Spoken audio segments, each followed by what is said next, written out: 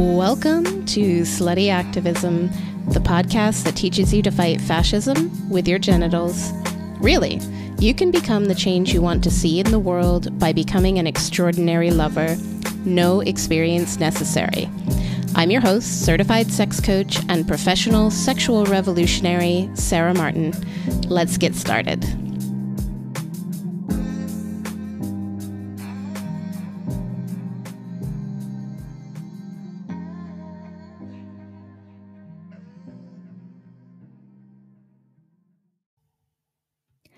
Hello, friend.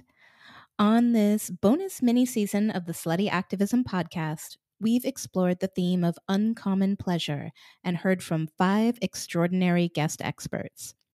If you haven't listened to all five episodes yet, I encourage you to check them out. We've also been going deeper into opening up new pathways to pleasure in the five day Pleasure Diary Challenge.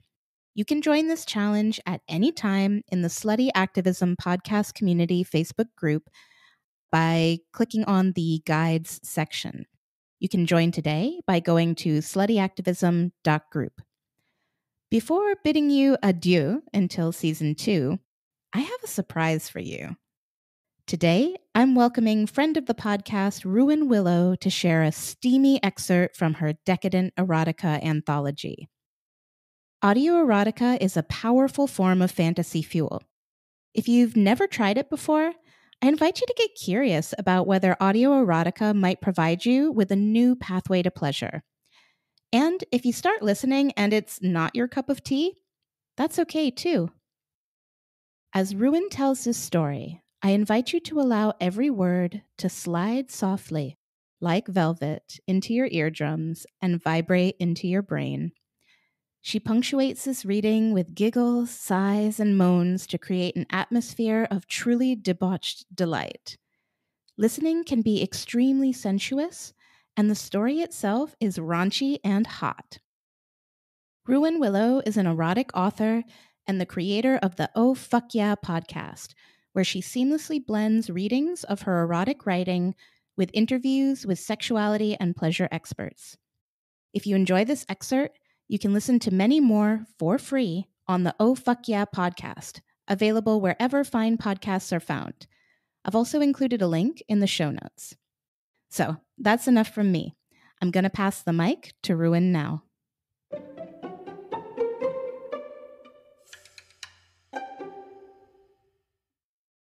Hello, this is Ruan Willow, erotica author, and I am sharing an excerpt from my anthology, Decadent Erotica, an anthology, 10 tales of extreme sensuality, indulgence, dominance, and submission.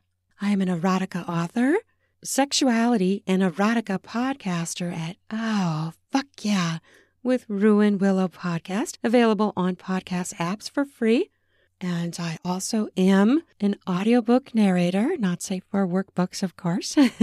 and I'm also a sex blogger. So, this excerpt that I'm going to read for you is Mallory and Derek attend their first sex party. It's an orgy, baby. Hmm, fuck yes. This story actually originated as one I narrated right off the top of my head as I was recording a podcast episode for my Oh, Fuck Yeah with Ruan Willow podcast. I think of this as erotic improvisation, where I create a story right off the top of my head. So I took this story that I created off the top of my head and I fleshed it out into a fuller story. And this is what it became. Watching the faces of the people blossom into orgasm after orgasm is driving her desire to join to fire alarm status. She needs to get in there. What do you think, Derek? Is this still a go for you? Derek meets her gaze and his eyes melt. He does a single nod. I'm nervous, but I want to do it. Sam takes a step forward and turns to face them. This is exactly what I like to see. You two are checking in with each other Communication is key. A dedication to each other's comfort and pleasure is also key. I think you two will fit right in and be a great addition to our group.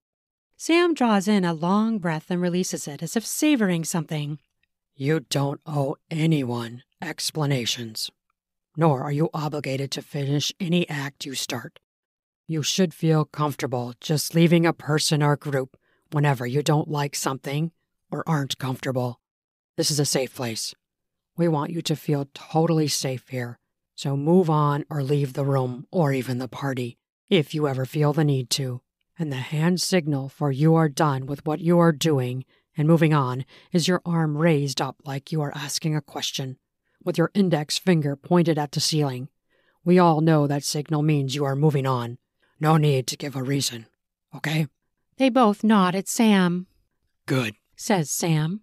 The validation from Sam is like a hug to Mallory. Being called a good girl usually tweaks her clit and thickens her satisfaction. It's not that she's a wimpy approval seeker or needs that kind of validation to be okay. It's just delicious to hear. Do you need more time? Or shall we enter this pile of sex? Mallory squeezes Derek's forearm before she turns to fully face him. I'm ready to do this if you are, but I'm also ready to walk out if you are. But if we do that, we are fucking the second that car door closes, she says with a chuckle laced throughout her last words. He grins. Oh, I get it. And I'm in too, Mel. Derek's shoulders relax, and his face clears of nervousness. Well, mostly. Let's go fuck and get fucked. Sam grabs Derek's hand, and Maria grabs Mallory's. Derek reaches for Mallory's hand, and the four stride together as a human chain towards the orgy. The people in the orgy are on a large round piece of beige furniture, which is like an island.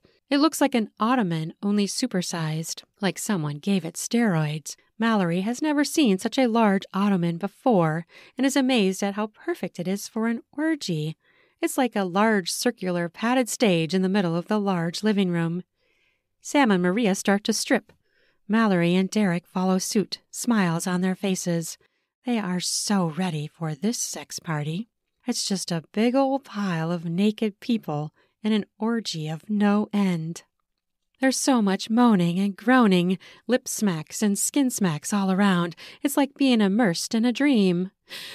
oh, oh, oh, oh. Maria faces them, but both Mallory and Derek's eyes drift down her body. She smiles. Okay, to orient you, there are bottles of lube strewn about and sex toys of all different sizes, shapes, and colors. All will be thoroughly cleaned before every party, as the welcome email stated. Use what you need and want. This is your sexual playground.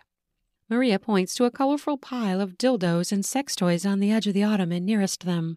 Mallory dives right in without hesitation and stands at the edge of the ottoman. Derek watches in amazement because she's instantly a part of the scene. A man grabs her and kisses her. He fondles her breasts. Derek watches in awe of how she just assimilates in so easily, so naturally. He's proud of her. Sam puts his arm around Derek, who is shorter than he is by more than a head. Take your time, Derek. This is on your timeline and only your timeline.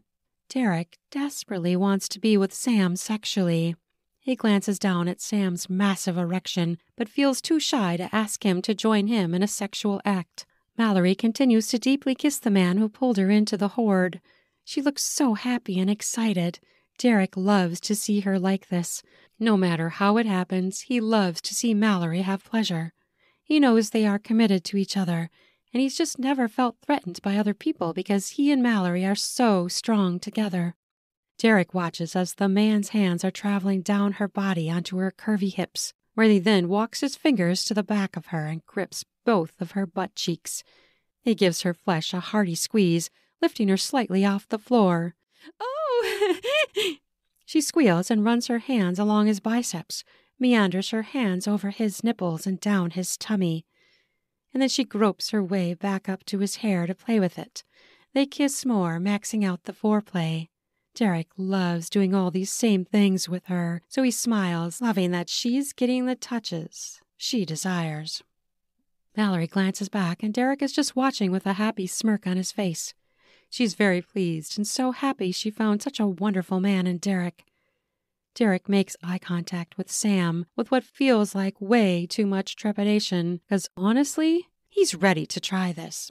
Do I just ask someone, or do I just lay myself in the group and let someone take me? Maria joins Mallory and the man, and Mallory's eyes beam with bliss. Mallory's smile blossoms with happy, salacious lust at the addition of Maria to their tryst. Derek is dying to ask Sam to be that someone for him that Maria and the man are being for Mallory, but he's so scared to ask. Sam smiles very deeply as if he knows. Would you like to have a partner as you join the horde? If so, I'm definitely the man to gently usher you into this ecstasy you are watching. His grin is lascivious and hungry, but confident. He reminds Derek of a wolf, an alpha, a bull, which likely he is. Derek simply nods with a sort of awestruck look on his face. Sam drapes his arm around Derek's shoulder. Derek's eyes fall once again to Sam's very large, erect cock, which is out and stiff in all its magnificent glory. He really has a stunning cock. Derek's not been able to keep his eyes off Sam's raging boner for long, ever since Sam undressed. The man is a Greek statue. Sam gently guides Derek to an open spot that just appeared on the ottoman. He pushes Derek to sit, which brings Sam's hard shaft right in front of Derek. It bobs seductively in front of Derek as Sam moves slightly. He's hypnotized by the beauty of it, so near to his eyes. He cautiously reaches for Sam's cock, then glances up to make eye contact with Sam. Sam nods his approval. Keep your eyes on mine, Derek. It's a command, but Derek willingly complies because this is exactly what Derek wants. Mallory's statement from earlier today flits across his brain. If you see a cock you want, suck it.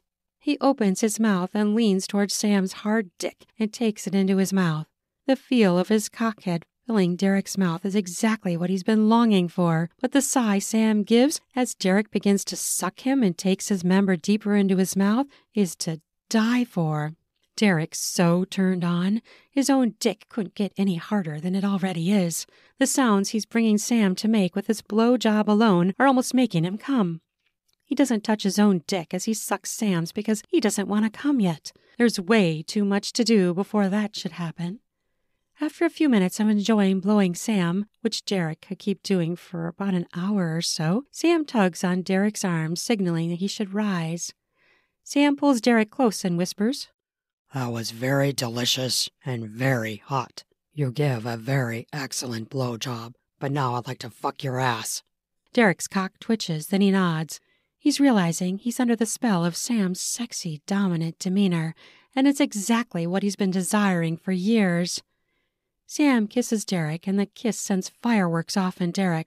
Derek has always thought that analogy was stupid and unrealistic, but Sam is disproving that because Derek feels explosions firing off inside him.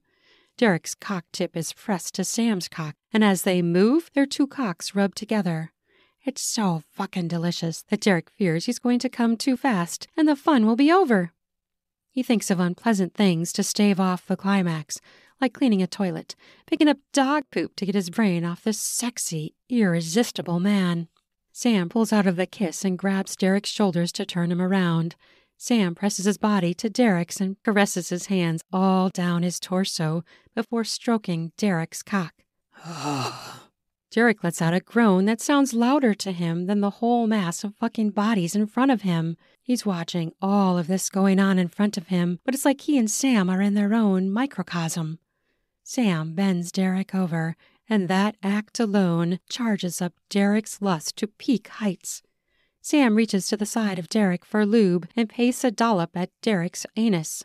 Derek tips his ass upwards for Sam, presenting it to him. He and Mallory had been practicing anal stuff with toys, so he's ready for this. He even let her peg him for the first time the other day to get him ready for the party. Plus, he had wanted his first anal sex to be with Mallory. His heart is pounding so hard, his panting is so rampant, he feels as if he will explode. As Sam presses a finger into Derek's ass, Derek gasps. His body, mind, and soul are ready to accept the best cock he will likely ever have in his entire life. Sam pulls his finger out of Derek's asshole and leans in. He rubs his cock all over Derek's ass cheeks and spanks his ass with his hard shaft. Derek whimpers. Oh, please. He says in a soft, pleading voice. Please, Sam, do it. Sam grins deeply and presses his cockhead gently into Derek's anus. Both men groan. The satisfaction is unmistakable in their sounds. This is heaven to them both. Sam begins to increase his thrusting and proceeds to fuck Derek as he's never been fucked before in his entire life, at least by cock. Derek loves how aggressively Sam slams into him from behind. The skin smack sounds alone turn Derek on even more. He bounces forward from the thrusts, grunting with each one. Uh, uh, uh. But in keeping his hands on the furniture to stabilize himself, he's not able to stroke his own cock. His cock swings with each pounding of his ass that Sam delivers. Derek's orgasm is looming fast. He's helpless, as he can't stop the rise, not even slow it. Derek spews his cum despite his dismay to do this early on in the orgy. He feels shame at coming already, plus he's sure it has landed on the ottoman. He worries about that slightly. But then he almost chuckles. This is likely not the first time cum has landed on this monstrosity covered in upholstery. He's being ridiculous. His panting is out of control. His heart is beating so ferociously, he doesn't remember ever coming that hard in his entire life. The spasms keep going, and so does Sam. Sam's not done with his ass. As Derek recovers a bit from his massive orgasm, his cock thickens as he watches Mallory getting fucked from behind by a man while her tits are being sucked from beneath her body by Maria. It's a lovely and delicious sight he won't likely ever forget and he's very happy about that. As Sam continues to slam into his ass like a machine, Derek's body is gyrating in the air as a woman slides beneath him from the side. She's a very cute and petite redhead who looks about his and Mallory's age. She smiles at Derek and reaches up to caress his cheek. He smiles and nuzzles his face into her touch. She presents her pert little nipples to his mouth. Suck, she says in a commanding tone which also implies a bit of a question.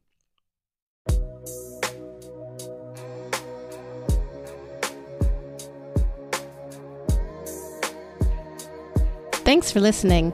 If you enjoyed the show, don't forget to head over to sluttyactivism.com and learn how you can get started changing the world with pleasure. Also, make sure to follow the show so that you get notified when I drop a new episode. And if you want to connect with other like minded people, come join us in Certainty for Overthinkers, the Slutty Activism Podcast Community Facebook group. Hope to see you there.